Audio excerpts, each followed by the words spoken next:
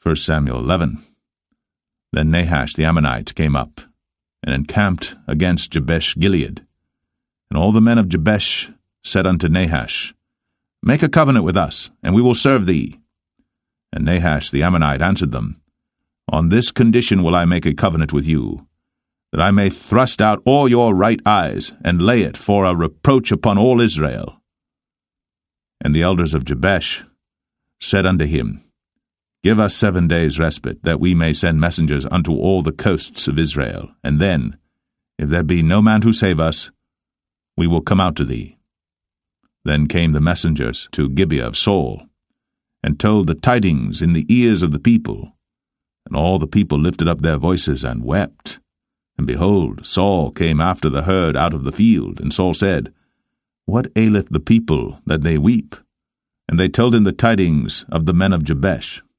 And the Spirit of God came upon Saul when he heard those tidings, and his anger was kindled greatly.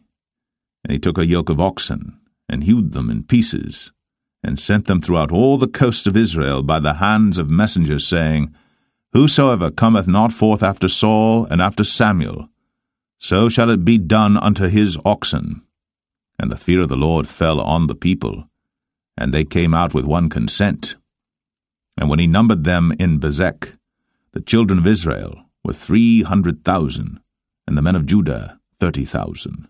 And they said unto the messengers that came, Thus shall ye say unto the men of Jabesh Gilead, Tomorrow by that time the sun be hot, ye shall have help. And the messengers came and showed it to the men of Jabesh, and they were glad. Therefore the men of Jabesh said, Tomorrow we will come out unto you, and ye shall do with us all that seemeth good unto you. And it was so in the morrow that Saul put the people in three companies, and they came into the midst of the host in the morning watch, and slew the Ammonites until the heat of the day. And it came to pass that they which remained were scattered, so that two of them were not left together. And the people said unto Samuel, Who is he that said, Shall Saul reign over us? Bring the men, that we may put them to death. And Saul said, There shall not a man be put to death this day, for today the Lord hath wrought salvation in Israel. Then said Samuel to the people, Come, and let us go to Gilgal, and renew the kingdom there. And all the people went to Gilgal. And there they made Saul king before the Lord in Gilgal.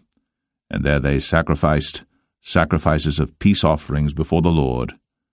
And there Saul and all the men of Israel rejoiced greatly.